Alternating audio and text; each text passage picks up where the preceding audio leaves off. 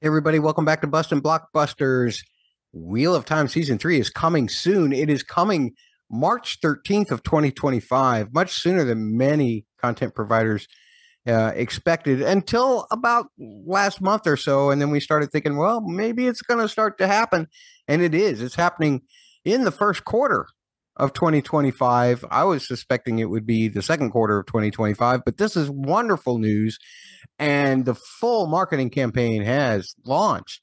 Uh, Rafe, Madeleine, Madden, and Josha Stradowski recently appeared at the Brazilian Comic Con CCXP, where they revealed two scenes uh, that will be in the show.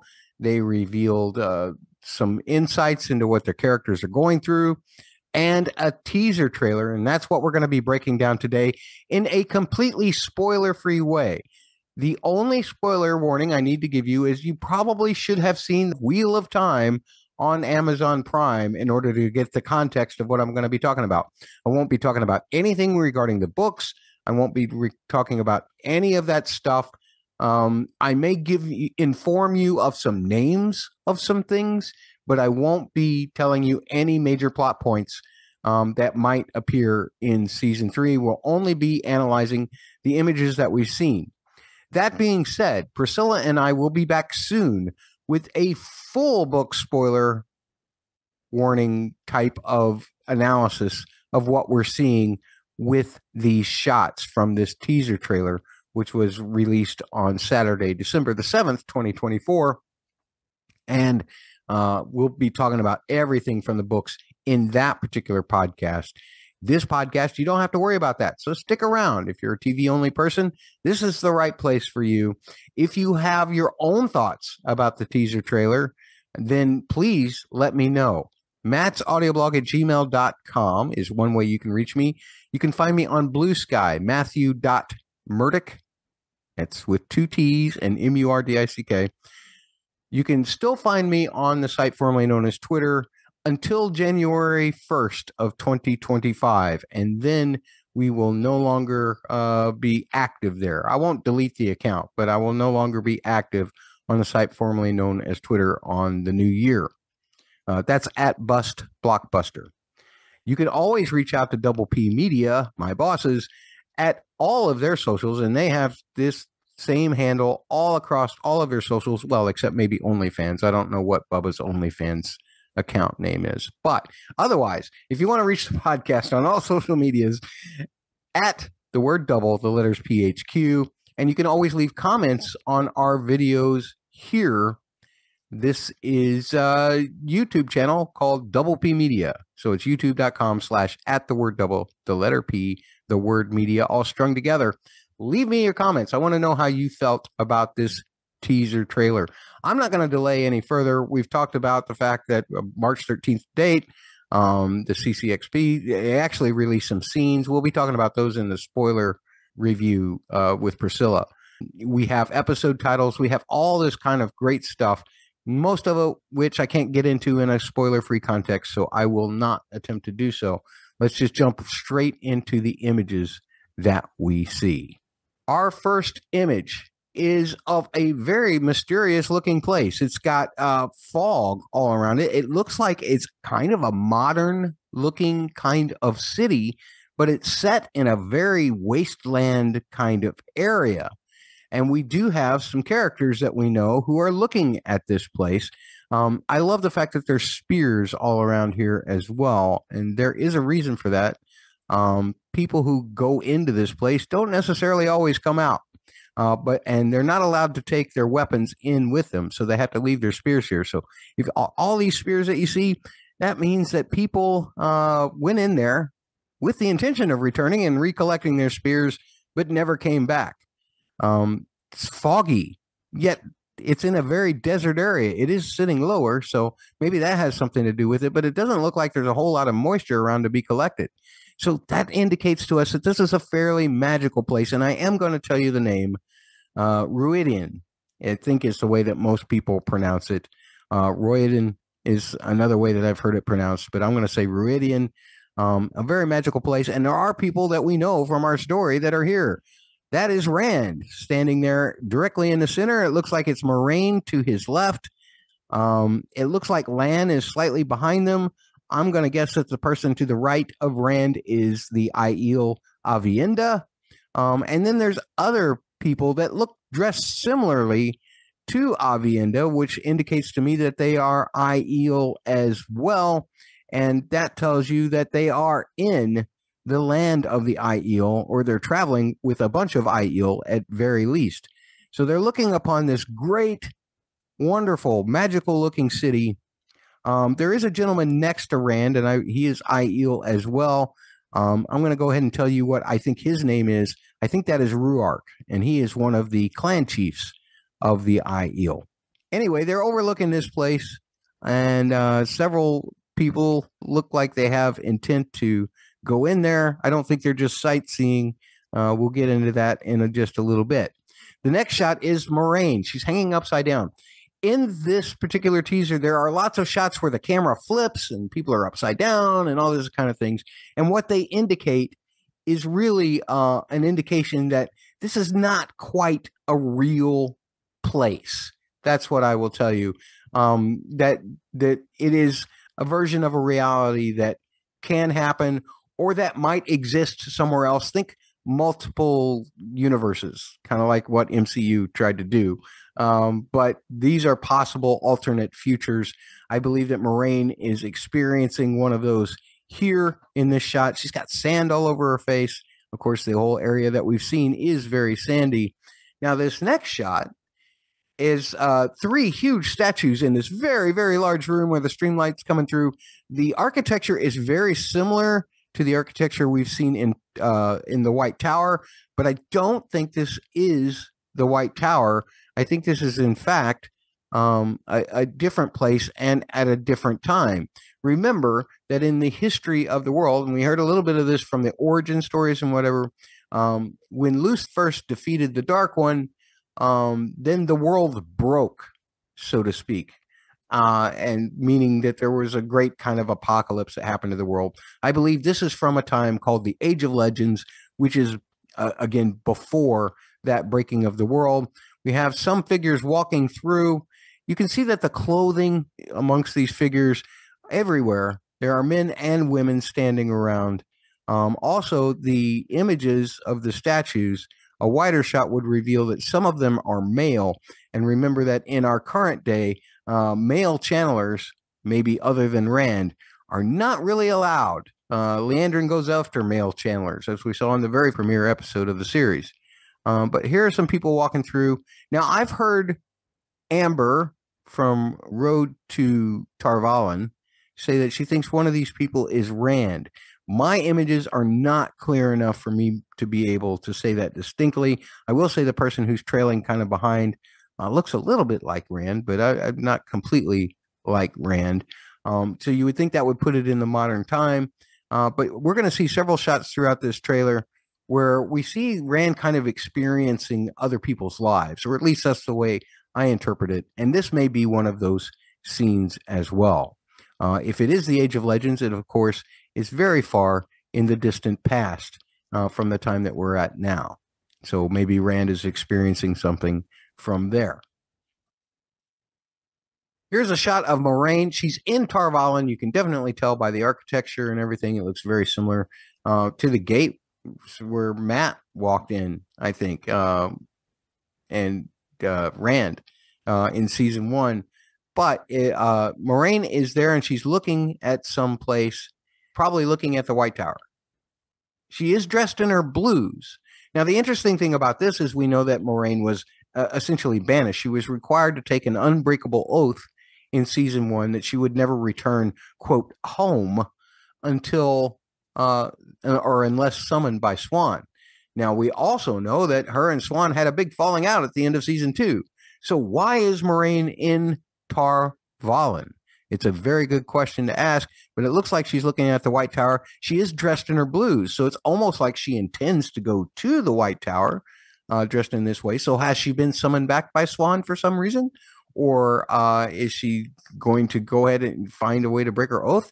I don't think she can break her oath. So Um, this is going to be very interesting to see as to why she is in Tar Valon, possibly looking at the White Tower. Next, we have a shot of Rand. Remember, I told you there were there were going to be some images where Rand is experiencing other people's lives, and this may be one of those cases because he's dressed in very different clothing from anything that we've seen in the Wheel of Time present day. It does look much more like those Age of Legends clothings, like we saw in the flashback with Lews Therin and uh, the Aes Sedai in season one, or in uh, him and Ishí in in the flashback in season two. I think this is from that kind of same time period. Rand's hair is different. Rafe has revealed, and this was at the CCXP, um, and even before then, I believe he said that there are several scenes where Rand is wearing prosthetics, where he's wearing different kind of makeup because he is actually experiencing these different lives. I believe this is one of these different lives from a time way back in the past. Our next shot is Lan. He looks intent. He looks mad. He looks ready to fight. Um, that's usually the way Lan looks. I'm just wondering if Daniel Henney is just mad because uh, he's in the desert. It looks like, so that means there's no trees for him to pee on. No, that's not it. Okay. Uh, he looks like he's about to square off with somebody. Although I think that if he was actually about to square off with somebody seriously, he wouldn't be just waiting around squaring up with him. He'd just go after him. So um, maybe it's some kind of training session because we do see some training stuff in future clips. Here is Liandrin. Now she is dressed in a much more sophisticated looking red sister shirt, uh, red sister garb than normal. It's got veils and all these other things. She's pulling the veil down. Uh, if you notice, all of the people in the background are in fact dressed very wildly. This is not Tar Valon. The the architecture doesn't indicate anything Tar Valon. Um, it does kind of look like Cairhien, but I suspect this is a location called Tanchico. Now, if you haven't read the books, Tanchico is a place that is um, kind of on the same side of the continent as Falme is, but a little further south and maybe a little further east as well, or maybe a little further west. I can't remember if if uh, Tanchico's right on the ocean or not. Uh, but anyway, it's on that western side of the continent, but it is south of Falme where we were at for season two.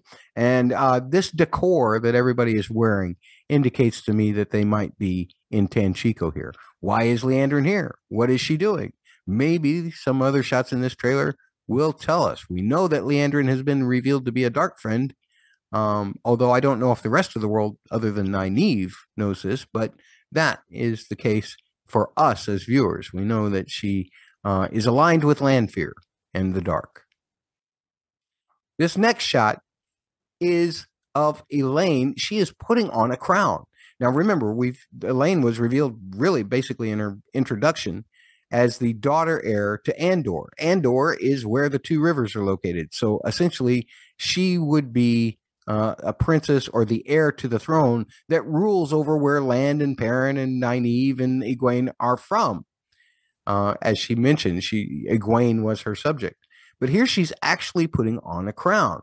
Now, does this mean that her mother has passed? Does this mean that her mother is missing? Must she now act as a queen? She's still in her novice garb, or maybe it's accepted guard. I can't really tell. But she is uh no there's no uh there's no colorful bands on her wrists so it is definitely still novice stuff um there is something that we might consider uh in regards to this shot maybe this isn't real at all and the reason i say this is because we saw Nynaeve take an accepted test in season two i believe it was episode three and she went through several situations that may have been real on another plane of existence, so to speak, uh, but weren't real in pertaining to the world she was currently living in. Perhaps this is another one of those things. Remember that Elayne and Egwene have not yet taken their accepted tests, and we can tell that she is definitely in uh, her Aes Sedai uh, novice garb, and the window lattices and everything, and the pillars all indicate that this is definitely in the White Tower. So why would she be wearing her crown in the White Tower? That makes no sense. So to me, the option is to go, well, maybe she's going through an accepted test, and this is uh, part of that. Speaking of the White Tower, we have a shot of the Amyrlin seat. Now, it doesn't appear to me that Siuan is the one who's sitting there because this Aes Sedai is all dressed in red. In fact, if we zoom in as close as we possibly can, and my images are not very high resolution, um, but I did get them courtesy of Omar uh, from WattSeries.com, who did a great job collecting all of the frames uh, for anybody to examine. Just check out Watt Series uh, on your social media sites, and they'll provide you with a link uh, for these images. Um, anyway, as I zoom in, this actually looks like it's um, Liandrin sitting on the Amyrlin throne. And there is a person sitting to her right that I believe might be Lanfear or Egwene. I cannot tell which, um, but either of these, the fact that Liandrin is sitting on the throne indicates to me that this might be some kind of dream or something like that, especially if Lanfear is there, because you know how much she likes to just walk in on people's dreams and say, hey, what's up? So perhaps uh, this is happening in a dream, uh, a dream where Liandrin is imagining herself as the Amyrlin seat, and Lanfear says, "Hey, uh, wake up! You got you got my uh, you got you got to serve me now." Uh, so perhaps that is what is happening there. Here is a shot of Moiraine. She's in a different outfit from what we've seen her in in prior shots, and she is holding this globe, um, and it looks like she is channeling into it. Now, I believe I know what this item is. Uh, do you remember last season and the season before us talking about ter'angreals and sa'angreals and those kind of things? I believe that this might be a very powerful sa'angreal based on my knowledge from the books. I won't say anything further about it, but just imagine that it is a very powerful object. Remember that these kind of objects, they actually take the power that you put into them and uh, they make it stronger or they do something different with it. Uh, the arches that the girls walk through in uh, acceptance tests, those are ter'angreals. Um, this particular one, it looks like Moiraine is channeling into all by herself. Um, I believe that this is her channeling in based on the the direction that the flows are going when we see the shot. On the other hand, the shot following that shows her, I think it's her standing on a platform and holding that same object and all of the power going out of it. So the ter'angreal or sa'angreal are doing something with the power that she's giving it and spreading it across the world. It seems like the flows are going everywhere. It's a beautiful shot, except for the fact that it's ruined by this banner of a quote from Vulture magazine. It says, The Wheel of Time is blazing a new path for fantasy on television. So um, I don't know what the purpose of putting a quote on that's probably at least six months old or older, uh, because the Vulture hasn't written anything new about Wheel of Time, uh, to my knowledge, um, in in the recent weeks. Um, for them to have time to put it into the trailer. Uh, so um, why why waste a beautiful shot? And it truly is a beautiful shot. It looks like that it's a drone shot done right at sunset or at sunrise. I'm not sure, but the sun is right on the horizon. Moiraine's standing on this high rock, and the flows are coming out of her. And the way that the shot moves, it's just shot beautifully. It's so epic. Love it. We next have, as I talked about, looks like an accepted test happening. This one for Egwene. She's standing there in her shift, the same way that Nynaeve had to wear a shift for her acceptance test. And you have Leon and you have uh, Siuan, and then some other Aes Sedai that I don't know uh, is uh, all channeling into what appears to be uh, the archway um, that, of course, we saw Nynaeve have to walk through. This uh, appears to be Egwene's accepted test the same way that we saw Nynaeve's accepted test. The next shot is Moiraine. She's just laying on the ground. It's barren ground, uh, not too unlike some of the areas that we've seen them in before. That I think is the threefold land, the place where the Aiel live. Um, there's a whole range of mountains um, that separate where the Aiel live from the rest of where like people like Rand live. And I believe that this is inside on the other side of what they call the spine. Um, that she's just laying there intently. She's wearing the same clothing that she was wearing when she's doing the uh, thing with the ter'angreal or sa'angreal. So uh, it may be a connected scene, or it may be before or after that happens. Um, it's almost like she's got her ear to the ground. Um, maybe she's trying to find the globe that she ends up using. Maybe that's it. Yeah. Uh, then an eyeball, and it's probably Moiraine's eye. I'm going to say it's probably Moiraine's eye. I love that light in that eye. It almost looks to me like a doorway, but it's just an eyeball, and I think it's Moiraine's eyeball. Another shot of Moiraine, again, I think in the same clothing. This one, the sun appears to be in a similar position to where uh, it was when she was channeling all of the stuff out of the globe. So it's probably a connected shot in that way, maybe happening after, maybe happening between the time that she channeled into it and the time that she stood and it all channeled out. Uh, I love trailers because they give you great, powerful shots and they give you zero context. That's uh, what we do here is to try and give you context for some of these shots if you want it. Um, and again, our context isn't always correct, but uh, I think it's all connected to that globe shot. Here's a shot of, I believe it's Rand's uh, shoes. There, he's dragging. His feet are dragging as he walks through this very bare, barren uh, land here. The interesting thing is the light. The light is bluish, right? And you can almost see in the background uh, some columns or or some poles or something like that. Um, but they appear to be kind of glass-like or crystalline, um, and they they appear to be a source of this bluish light. So, what is Rand walking in through here, and why is he dragging his feet? I can tell you this: um, there are certain places in that first city that we saw in Rhuidean that are very magical. And with each step that you take in those places, um, something may happen that makes it even more difficult to move forward from there. And uh, this is probably why you saw those spears. I told you that people from Meridian don't come out. Uh, the spears all left behind. Many people don't make it through walking these steps. Will Rand? We will have to see. I think he does. Our next shot is Nynaeve. It's really uh, only one of two shots that we get of Nynaeve. This one is her being more standardish.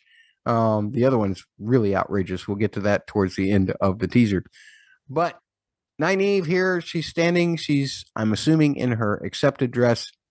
Uh, it's clearly in the White Tower. I think I've seen those doors that are behind her before uh, in several scenes. And she's just standing there uh, looking intently. It's a very quick shot. I'm wondering if she's uh, actually waiting for Egwene to emerge from her accepted test. And the reason why I say that is because Nynaeve, of course, had a very traumatic accepted test. And so maybe she just wants to be there for Egwene. Or now she's had a great experience with Elayne. And if Elayne is having an accepted test with the crown thing, like I said before, maybe Nynaeve is waiting for Elayne or both of them or you know one or the other i think they can only take one at a time so uh, one or the other one i think that she's probably waiting uh, for Egwene or Elayne to return from their accepted test uh, to be there for them because it is a traumatic experience as Nynaeve well knows now here is Egwene um, again her hair uh, as before it's it's shorter it got cut off uh, when she was a damane uh, to the Seanchan, uh, and uh, they cut off her braid, and and now her hair is shorter. She's dressed very oddly. She is dressed um, not too much unlike some of those Aiel that we saw uh, in the first shot. Uh, the the garb is very similar.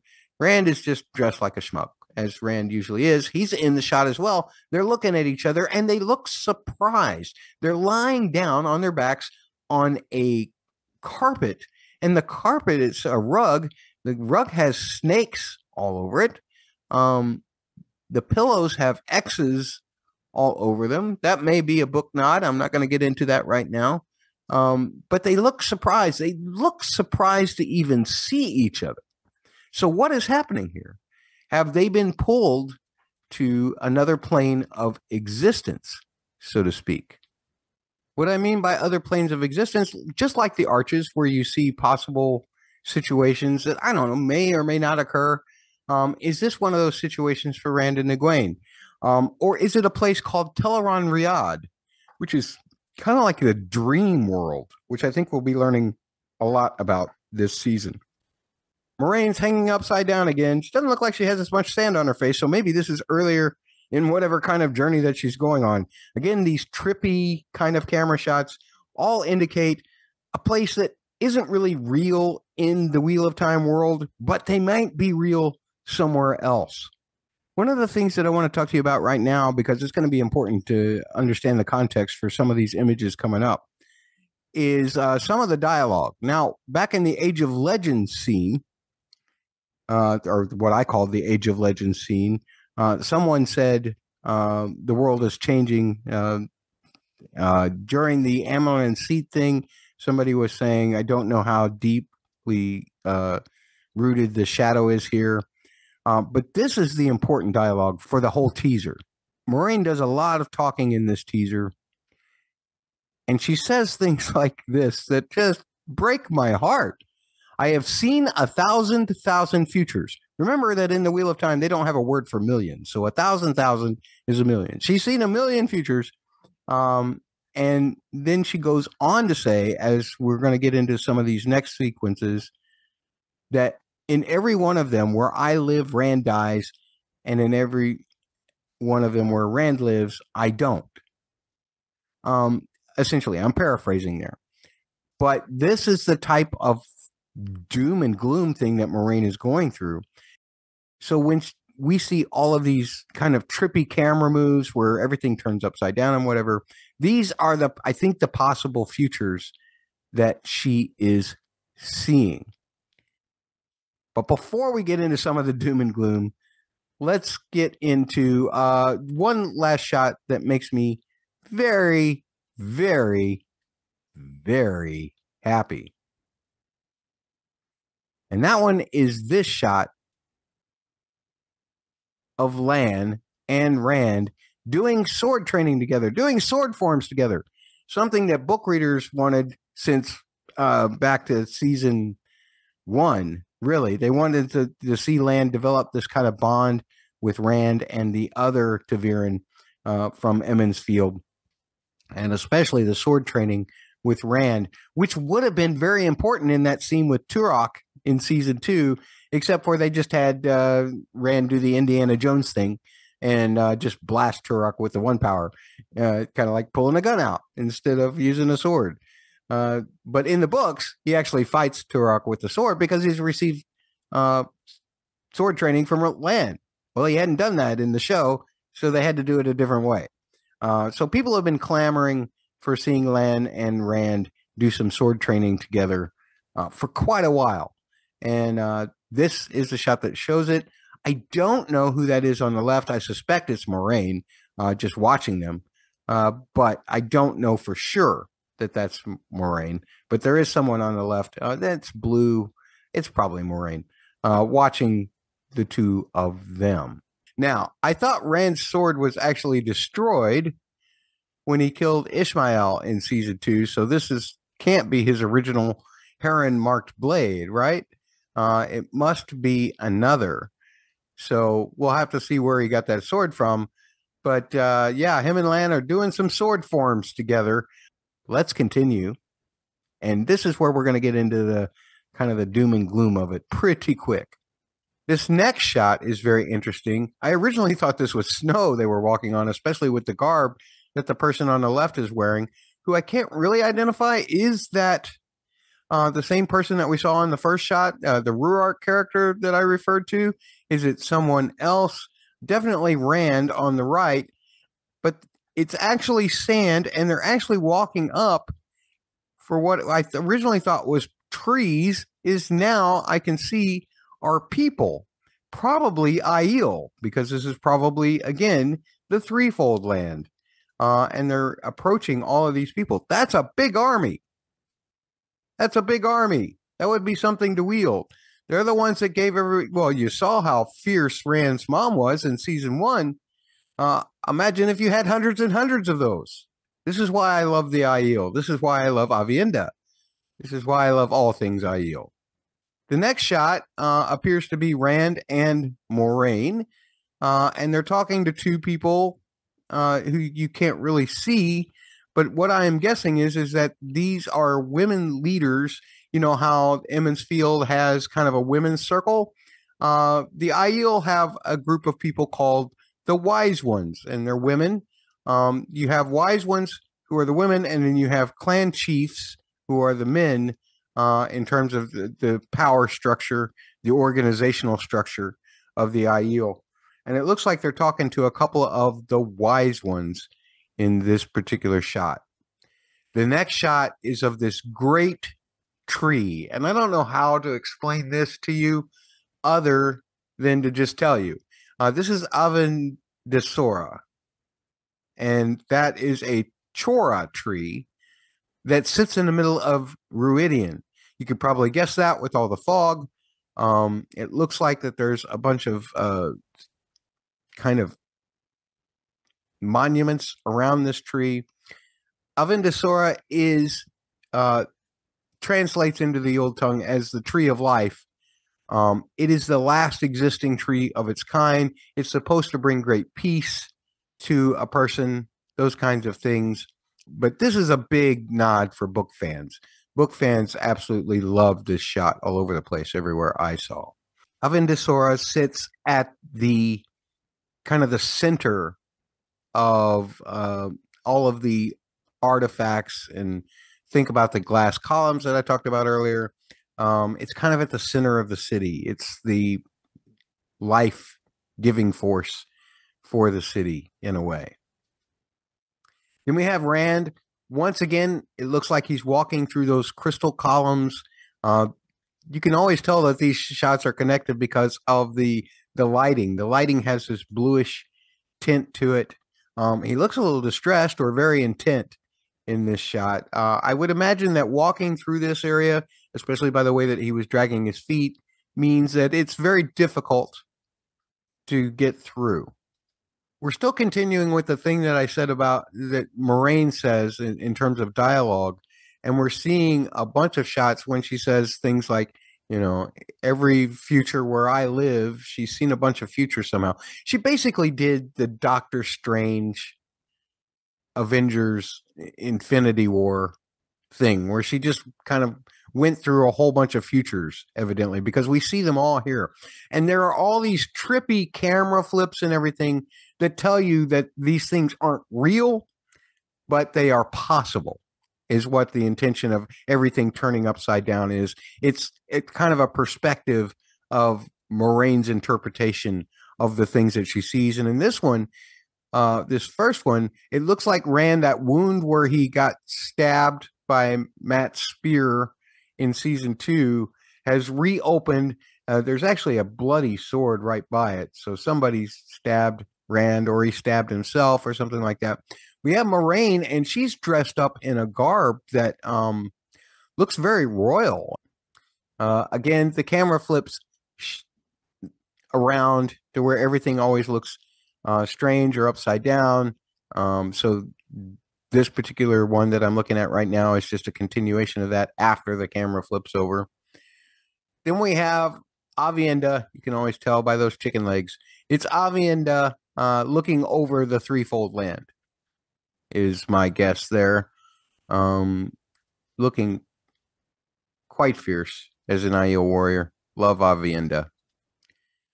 Then we have Lanfear being Lanfear the way that Lanfear is around Rand. Um, you know, Lanfear is crazy about Rand, so much to the point that she kind of foiled Ishamael's plan at the end of season two. Um, here, um, she looks like she's wanting to be back to uh, early season two uh, when she was Selene, and just have her her way with Rand. Uh, you know, toying with him a little bit. And of course, Rand being Rand, whenever Lanfear's around, Rand will be Rand the way when uh, Selene is around, because uh, he looks like he's enjoying uh, Lanfear's attention in this shot. We then have another shot of Lanfear. Not not enough Lanfear. Remember that Lanfear's hair color or her hair length changes a lot during uh, different times that we see her.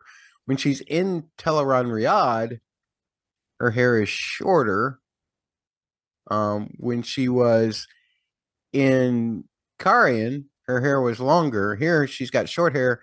She's got on uh, her black as usual. It's not the same black leather, I don't think, that she had in season two that drove everybody crazy, that drove especially Matt, the innkeeper, um, Matt Hatch from the Dusty Wheel crazy. He's a huge Lanfear freak. Um, I am too now. Uh, the television show has won me over. I'm not so much a Lanfear fan in the books, but uh, in the show, definitely Natasha O'Keeffe uh, has turned that character into something just amazing. However, Lanfear's got ambitions, and it seems that Moiraine is not part of those ambitions. She needs to get rid of her. And this is, again, uh, Moiraine said, you know, either Rand dies or I die in all of these futures. But we don't we don't both live, we don't both die. So now I think we're seeing more of these possible futures that Moiraine was talking about. This one, uh, Moiraine is in a very vulnerable position. It doesn't look like she's wearing any clothes and Lanfear is on top of her. I wonder if this is uh, in this possible future, if it is that Lanfear has tricked Moiraine into believing that she is uh, Siuan. And she goes for Moiraine's throat and uh, strangles her. Uh, it seems that uh, for Lanfear, uh, strangling is very sensual, at least in this shot. And uh, she seems to go with that theme quite a bit. She's always going for the throat. Uh, I don't know what that says about Lanfear, but she's always going through the throat because in the next shot, it looks like another possible future where Moiraine is wearing her wearing some bluish, Aes Sedai-ish kind of clothing, but Lanfear is strangling her again. This time from behind, uh, because you got to do it in all the positions, right? So strangle you on top, strangle you from behind. Um, now this one, uh, maybe Lanfear's tired of strangling Moiraine.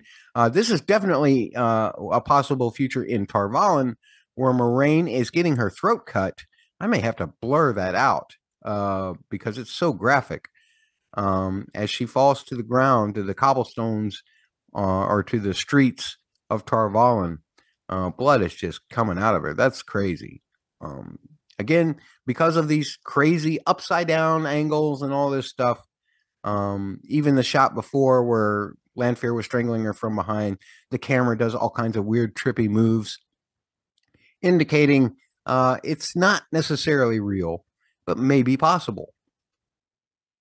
And uh, this next shot is actually Moiraine telling Lan the whole bit of dialogue that I alluded to earlier. Um, she says basically that for Rand to live, I have to die um, which is very scary. Moiraine is our main character. What's going on here? Um, much to consider there.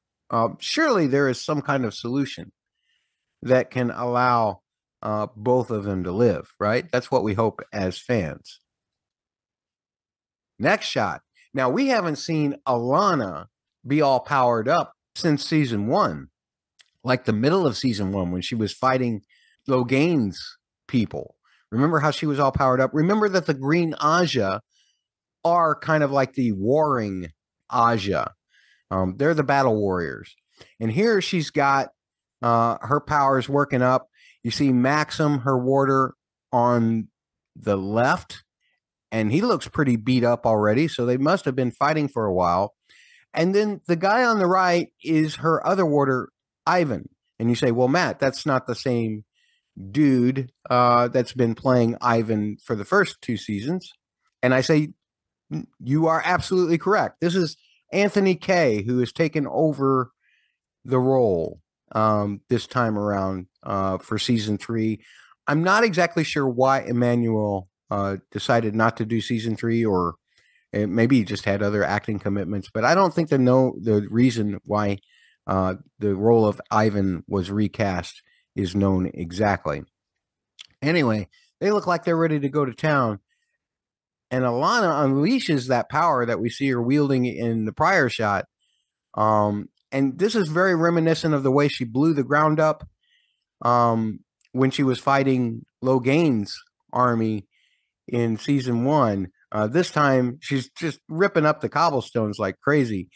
all of the CGI in, in this particular trailer is looking really good. I just love the way you see the one power actually affecting the physical medium, even though it probably is all CGI, but it's still, it just looks fantastic and it looks realistic. Love it. Now, here is a shot of Rand using the one power, and it looks like he's kind of uh, blowing up mirrors, all of the glass, all of the reflective surfaces. He's blowing them up. And in the shot, you can also see shadowy figures. So, to posit a theory, a book informed theory, nonetheless, but could some of these figures actually be uh, his reflections from all these glass surfaces brought to life? In the lower right, you can definitely see one of the figures, um, and they're all kind of dark, or, but they're also kind of reflective. So that makes me think that um, these sources or the source of these people or creatures or whatever they are is from the reflective surfaces and why Rand is um, blowing all of those surfaces out with his one power. One other thing that is interesting is down here in the lower right is there somebody in that bed? I can't really tell. Um, but is this one reflective dude? I'll just call him. Is he uh, is he attacking someone who's on that bed, or am I just seeing things? Because again, my resolution is terrible. Let me know. Leave comments in our YouTube videos at Double P Media uh, is the YouTube channel, or you can reach out on all the socials at the word double, the letters PHQ. You can find me on Blue Sky now. Um, I will be still on Twitter until January 1st, but after that, I won't really be reachable there. Right now, I'm still reachable there at Bust Blockbuster, but you'll always be able to find me on Blue Sky, Matthew Matthew.Murdoch on Blue Sky. So there you go. Um, yeah, great shot. And I think this is a callback to something from book three, but I won't say anything further here. Reminder Priscila and I will be breaking this down with a full book series spoiler uh, warning on front of it, where we'll talk about everything, what book it's from, what it means, and all of that stuff for you. But I'm trying to do this in this spoiler free one, um, just so Bubba has a TV only uh, perspective thing to listen to when he has time. He doesn't have any time right now, which is why he's not here with me right now.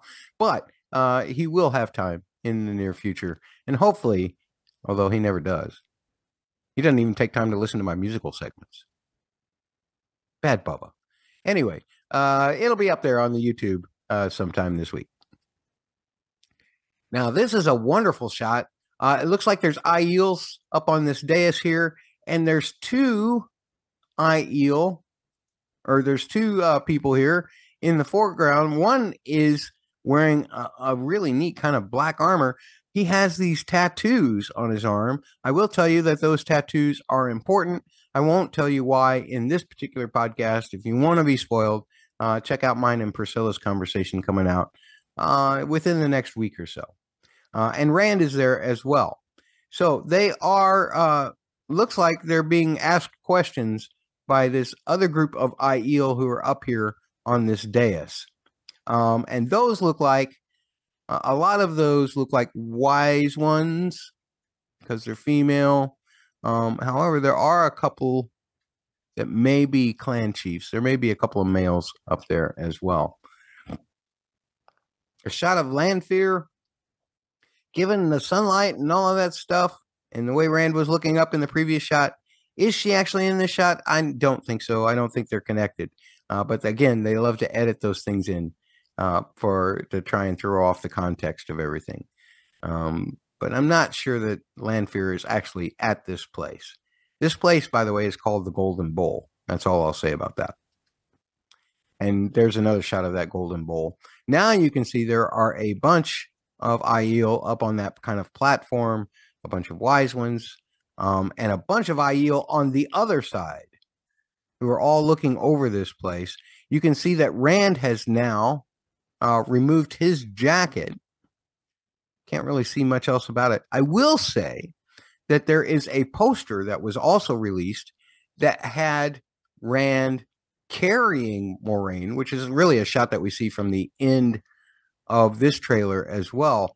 Um, but he also has tattoos on both of his arms when we see him in that photo or at the end of this uh, teaser. Um, so the fact that the other guy has tattoos, it must mean something, right? This dude uh, is probably a warder.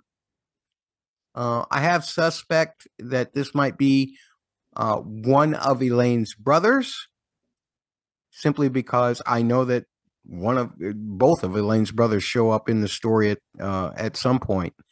Um, but he is motioning for somebody to come on, so it's like he's challenging somebody to a fight.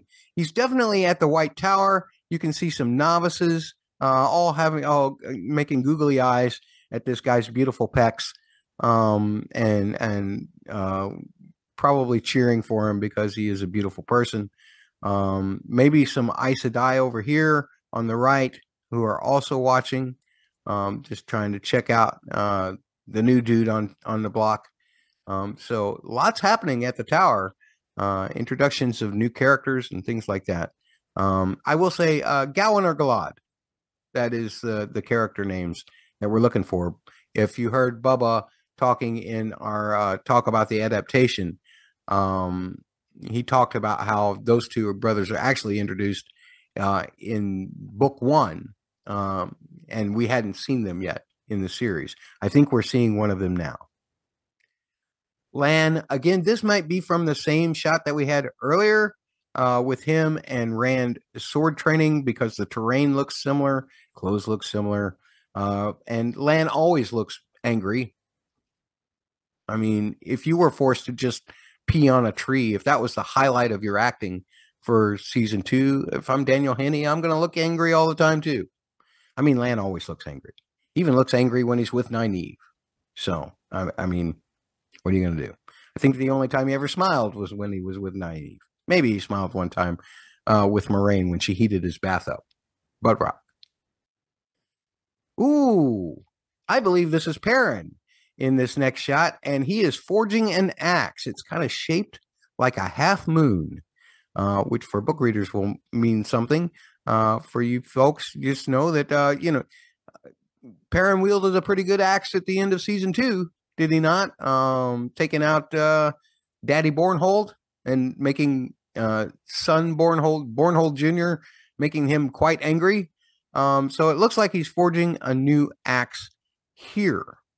Uh, where's he forging it at? That's a good question. Um, it looks very much like his old his old stomping grounds in Emond's Field. We will see. Now we have Min. Min is one of my favorite characters in the books um, because she's just uh, so tough on the outside and so fragile on the inside. That's that's one of the things that I love about Min. Um, here she looks a little panicked. She's in this great kind of almost like storeroom or something like that. I, you know, there's lots of storerooms in um, the White Tower as well, so she could be there, but she's dressed really weird. She's dressed very kind of exotically, almost kind of like the way we saw some of those uh, people being dressed in other shots where I think where Liandrin was at and what have you. And perhaps, perhaps she is in that same location. We call that place Tanchico. Uh, perhaps she is in a storeroom in Tanchico. There's all kinds of weird things here. There's taxidermy going on with goats, um, a hog's skull there, a wild wild hog skull, skull there all kinds of little items that I can't necessarily an ashtray.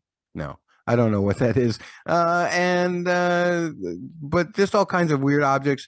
Um, the weird kind of looking statue thing up on the shelf there. Um, we might consider that that might be something that men would be seeking. We don't know why she's there. We don't know what she's doing. There's very little context. That's what these trailers do. They just offer you very pleasing shots with very little context as to what they're about. So uh, I'm going to say it's Tanchico uh, and just leave it at that because I have no idea what's going on there actually. Then we have Mat. And this is one of the few shots of Mat we get in this trailer. Uh, that was one of the few shots of Min we get in this trailer. Rand and Moiraine make up, you know, probably about 90% of this trailer, and everything else uh, makes up the rest. And th- this is the one shot of Mat. He looks really beat up here. He's got scarring all over his neck. Um, there's a strange light on his face as well.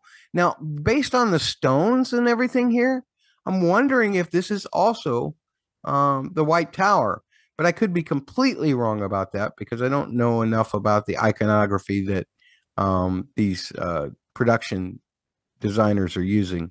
Um, but it, it could be Tar Valon, it could be anywhere else.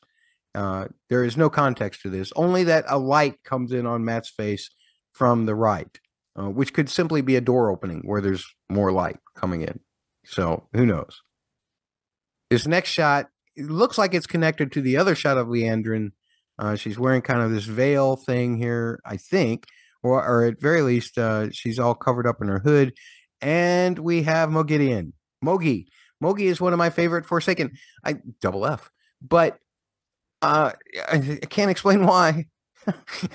Not in this podcast, I can't, unfortunately. Uh, but I love Moghedien. She was absolutely fabulous in that last scene in season two with Lanfear so creepy. Laia Costa just knocked that scene out of the park. I got a feeling she's going to knock every scene out of the park uh, this season. And even Rafe, I think, in an interview at CXP, said he just really loves the way Laia Costa plays Moghedien. Uh, I will be calling her Mogi for short from now on because Moghedien's hard to say. Uh, and then sometimes I get, uh, well, you said it wrong. It should be Mogadine. And I'm like, I don't even know how to pronounce any of these names. Uh, so I give them nicknames. Ishamael is Ishi, Mog- Moghedien is Mogi, uh, Graendal is, is Grinny. Uh, you know, so uh, uh, just put an E on the at the end of the first syllable, and there's your Forsaken for me. Uh, anyway, Liandrin uh, is getting a really crazy look from uh, from Mog- Mogi there. So I I love that shot. That was fabulous. Oh, it's time for the makeout section of the trailer. Here we've got Siuan and Moiraine kissing each other, and uh, it looks like they're in that little love shack that they, you know, they go walk through the ta- to get to. Uh, it's kind of like um, Siuan's childhood home, almost kind of like a little place in uh, in Tear is where she's originally from. Remember the flashback of her as a child? It looks very similar to that. I, I, think this is the same place where they made out in season one as well. Um, so they're doing a kiss there. Here's the thought that comes to mind. Remember that shot of Lanfear choking Moiraine? Could Lanfear be fooling Moiraine into thinking that she is Siuan? And if they have made up, let's let's just look at it from that side. They were on bitter opposite sides at the end of season two. Was that all just a ruse uh, in order to fool the shadow? Or uh, have they made up? Let me know. Comments, YouTube, at Double P Media, uh, at Double PHQ on all the socials, at Bust Blockbuster, or Matthew dot Murdoch on Blue Sky. Matt's audioblog at gmail.com is an email too. Another makeout session. This one's Perrin, and he's with a girl. He's with a girl that's not his wife. Obviously, she's dead uh, because he fridged her, as Priscila likes to remind us. And uh, not Egwene, because that's the only other person we've seen him really crush on. Uh, so, who is this? I'm going to tell you her name. Faile is her name. Uh, and uh, this confirms the casting that we heard from John from What Up. I mean, back in August of 2023, he said this actress was going to be playing this person uh, that he had sources on. Absolutely right. Absolutely right, John. Once again, as usual. And oh my God, this shot. This shot caused a debate among the fandom for over 48 hours. It was hilarious. Elayne or Elaint? People didn't think it was Elayne. People thought it was Elayne. They debated respectfully back and forth for two days. And uh, I think they finally came to the answer that it is Elayne. So I'll just go with that. She certainly looks different. I think she's got Tanchico garb on, which makes sense with the book story that she's in. So we'll just keep it there. Next shot is Egwene, and it looks like she's kind of standing in a very strange place. I I'll, her the camera shot of her in this particular shot also looks really weird. Now it's not turning around upside down and anything like Moiraine stuff, but it doesn't feel like it's like completely in the real world.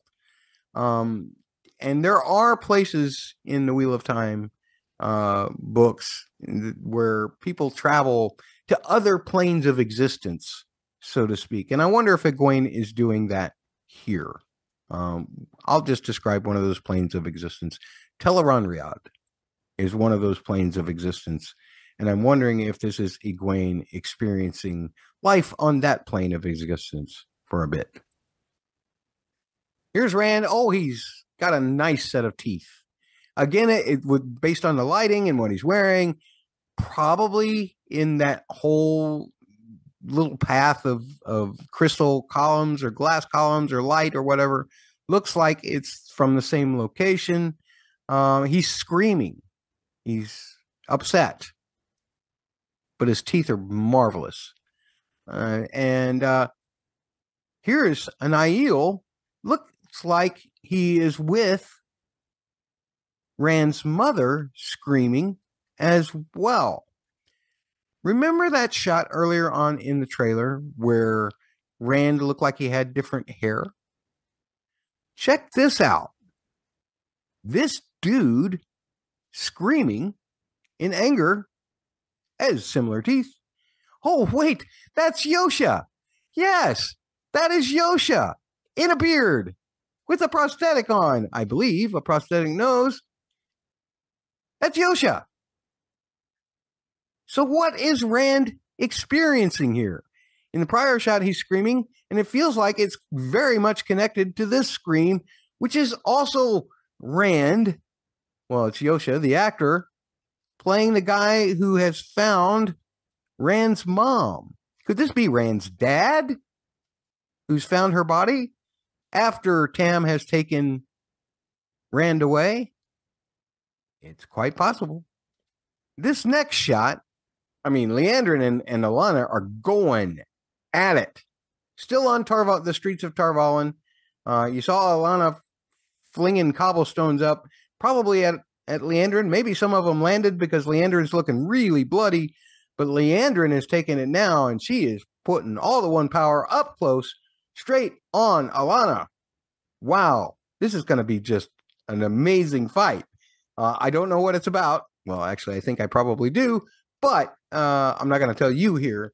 Uh, but yeah, this is going to be an amazing display of the One Power on the streets of Tar Valon. Oh, here's Perrin. He's also seemingly fighting people. He's all bloodied up. He's got some armor on. Um, as the shot continues, you can see that he's actually wielding that axe that we saw him forging earlier. Um, where could this be? It since the other place was his old stomping grounds. Could this be the two rivers? That looks that building looks familiar, like it's one of the inns or something like that in Emond's Field. Uh, could Perrin be going to war somewhere around Emond's Field for some reason? I think he might be. But you'll have to read the books to know for sure. This other person down here on the right, is that the girl that we saw Perrin kissing? Maybe. Hmm, maybe it's just a kid fighting, but uh, they're getting bit, pretty beat up as well. This is a bloody battle, folks. It's going to be a big one. Good to see Perrin have some action. Perrin got very little uh, the last two seasons, to be perfectly honest. I like him, but I think that people are really going to love him after season three. Here is Alanna. Oh my goodness, she is upset. She is crying over a body I mean, Alanna is always so calm, cool, and collected. Remember that scene with Egwene when she was just openly talking about sex? She doesn't let her emotions out like this. She does not let her emotions out like this. She must be really upset. Is it possible that one of her warders has died? Because you saw the experience of the one warder when he lost his Aes Sedai because of that bond connection that they have. Is the same the case for the Aes Sedai when they lose a warder. Well, we saw that too in season two when the uh, yellow Ajah, uh, yellow sister lost her warder and how crazy she went with grief and anger. I think uh, what we've seen here is Alanna losing one of her warders.